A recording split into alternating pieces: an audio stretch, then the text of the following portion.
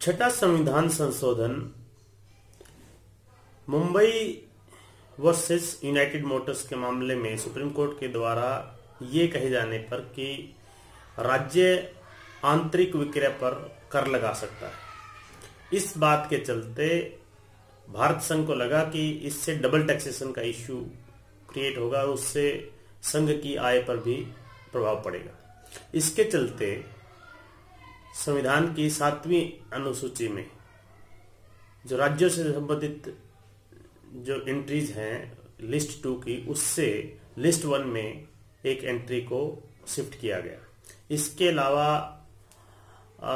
अनुच्छेद दो सौ उनहत्तर और अनुच्छेद दो सौ छियासी में भी बदलाव किया गया, क्योंकि उसमें टैक्सेशन इंक्वायरी कमीशन की जो रिपोर्ट थी, उसके अनुसार पार्लियामेंट को विक्रय से संबंधित परिभाषा देने की बात कही गई थी और उसमें ये कहा गया था कि जो सेल परचेज का जब इशू होता है इंटरस्टेट ट्रेड में, उसमें विक्रय क्या है? इंटर ट्रेड इंटरस्टेट ट्रेड में, आयात निर्यात में या विद इन स्टेट जो ट्रेडिंग है, उसमें विक्रय की परिभाषा भी इस संविधान संशोधन के द्वारा दी गई। संविधान का सातवां संशोधन मुख्य रूप से स्टेट रिओर्गेनाइजेशन और उच्च न्यायालयों की व्यवस्था में कुछ बदलाव के संबंधित था। सबसे पहले तो उस समय तक चार तरह के राज्यों की व्यवस्था भारत में थी। स्टेट रिओर्गेनाइजेशन एक्ट को इम्प्लीमेंट करने के लिए इस संविधान संशोधन को लाया गया और इसके बाद सबसे मुख्य रूप से संविधान के अनुच्छेद एक में बदलाव किया गया। इसके उसके साथ ही शेड्यूल वन और शेड्यूल फोर में भी बदलाव किया गया। कई अनुच्छेद, जैसे अनुच्छेद अस्सी, इक्यासी, बयासी, एक सौ तिरपन, एक सौ अठावन एक सौ इकहत्तर, दो सौ उनतालीस, चालीस, इकतालीस, अनुच्छेद दो सौ अठावन दो सौ अठानवे नब्बे, तीन सौ पचास ए, बी, तीन सौ इकहत्तर, इन सब में भी बदलाव किया गया या कुछ अनुच्छेद जोड़े गए। राज्यों के अलावा उच्च न्यायालयों से संबंधित भी जो बदलाव किए गए, जैसे कि पहले उच्च न्यायालयों में न्यायाधीशों की जो कितनी संख्या होगी, इसमें अपर लिमिट थी, उसको हटा दिया गया था। उससे पहले जो उच्च न्यायालय के न्यायाधीश थे, वो सुप्रीम कोर्ट में प्रैक्टिस नहीं कर रहे, कर सकते थे। उनमें उस बदलाव के चलते उसमें ये कहा गया कि अब रिटायरमेंट के बाद उच्च न्यायालय के न्यायाधीश सुप्रीम कोर्ट में प्रैक्टिस कर सकते हैं।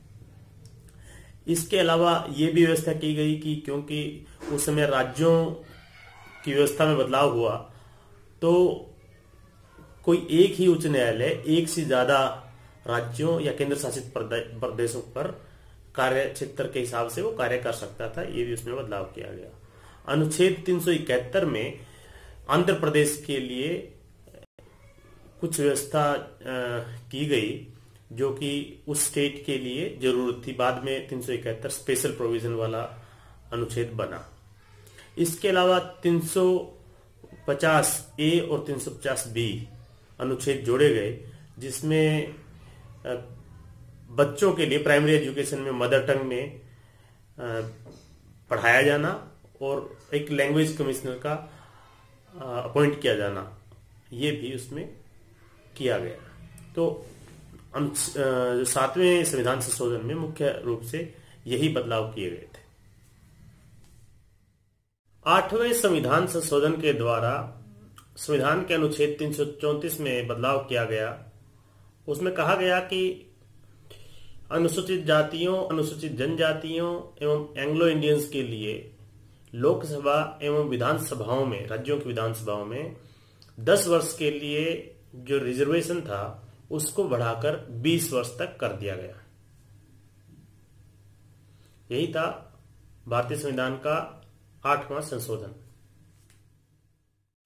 संविधान का नौवा संशोधन इन री बेरोबरी के मामले में सुप्रीम कोर्ट ने जो परामर्श दिया था, उसको कार्यान्वित करने के लिए किया गया। इन री बेरोबरी के मामले में सुप्रीम कोर्ट ने कहा कि भारत को अपना क्षेत्र किसी और देश को अध्यार्पित करने के लिए भारत के संविधान में संशोधन करने की ज़रूरत है। और उसी के अनुसार संविधान में संशोधन किया गया और बेरुबरी के मामले में जो जिन क्षेत्रों को पाकिस्तान को दिए जाने की बात थी, वो दिए गए। संविधान का दसवां संशोधन दादरा नगर हवेली को भारत संघ में जोड़े जाने से संबंधित है। 1961 में फरी दादरा नगर हवेली की वरिष्ठ पंचायत ने डिसाइड किया कि भारत उन्हें अपने अंदर इंटीग्रेट करे।